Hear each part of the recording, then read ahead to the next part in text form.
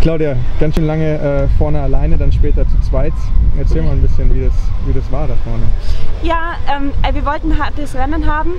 Ähm, gestern hat man schon gesehen, dass Sabrina Stultchen, Stulz, Stultjens von uns richtig, richtig stark ist.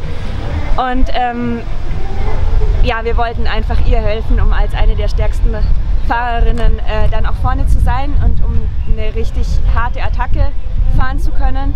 Und eigentlich wollte ich ihre Attacke nur vorbereiten und wollte das Rennen schwer machen und die anderen unter Druck setzen. Und äh, deshalb habe ich attackiert, als es langsamer geworden ist. Und ich hätte nie gedacht, dass ich dann so weit komme am Ende. Ist natürlich auch gut, damit lebt man auch gerne. Ähm, ja, es ist länger geworden, als ich dachte. Und dann natürlich ja, ist es bitter, dann 200 Meter vor Ziel eingeholt zu werden. Aber so ist Rennradfahren nun mal. Das war das, was ich dachte, als du, als du gegangen bist, dass es eben genau für Sabrina wieder Ja. Ähm, war das genau von Anfang an der Plan, also schon heute Morgen, dass Ja. ihr dann an der Stelle geht oder, oder war das, weil es dann langsamer wurde? Ja, also es war klar, dass ähm, bei, schon bei der ersten Bergwertung sicherlich äh, Vollgas gefahren wird. Und äh, direkt vier Kilometer danach kam dann der erste Sprint für Sekunden, der auch äh, ja, richtig wichtig war für die Mädels. Das heißt, es wird dort nicht langsam, dann schnelle Abfahrt und gleich wieder der nächste Berg. Also es war klar, dass diese Phase vom Rennen einfach extrem schwer sein wird. Und natürlich wollten wir davon profitieren und dann auch die stärkste Fahrerin da nach vorne schicken. Was hast du gedacht, als du dann so lange alleine warst, dass da gar niemand mitkam? War das ein bisschen so ein Schock?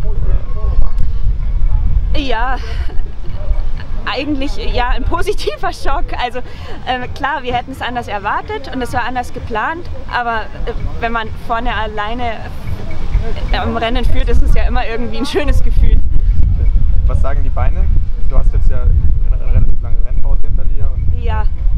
Ja, also ich muss sagen, es ist schon schwer natürlich ins Rennenfahren zurückzufinden. Auch die Rennen hier sind sehr, sehr schnell, sehr aggressiv. Die Straßen oder die Strecken fordern einfach viel Konzentration und man muss immer irgendwie vorne dran sein, um nicht unnötig Energie zu verschleudern. Und ähm, ich glaube, es war genau das Wichtige, Richtige, um wieder reinzukommen.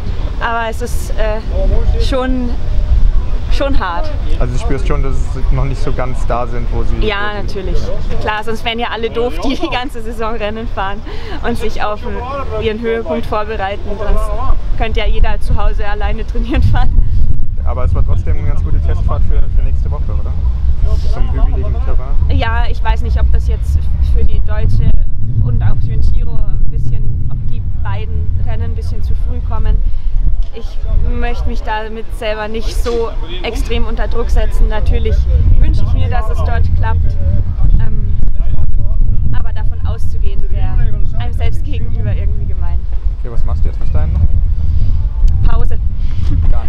erholen, Batterie aufladen und Aber schon viel. trainieren. ja, natürlich, aber an der Form selber kann man jetzt nicht mehr viel ändern.